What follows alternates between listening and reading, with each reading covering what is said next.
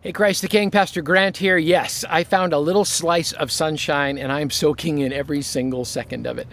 Hey, a couple of things we want you to know coming up. First of all, we're going to be baptizing in all of our services on the 20th and 21st of November. If you want to be baptized, now is your opportunity to go public with your faith in Jesus.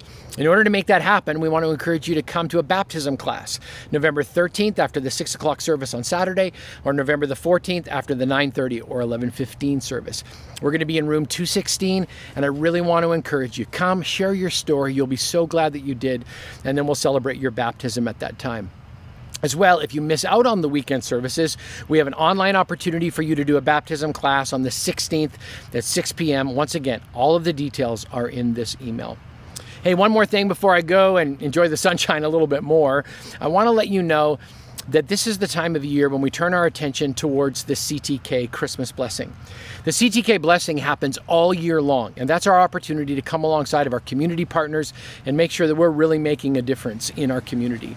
But then there's also an opportunity for us together to help people at Christmas time who've gone through significant uh, financial hardship. It could be because of the loss of a job or a medical emergency. And you have the opportunity right now to be somebody else's miracle by going to ctk.church slash blessing and making a gift in that particular place. As well this year, we're doing something a little different. We'd like to hear from our church family. We'd like you to nominate people that you know have experienced hardship. And once again, you can do that at ctk.church slash blessing. I know that you will not be disappointed when you extend a hand of love, encouragement, and connection with somebody who's really had a hard time in this past year.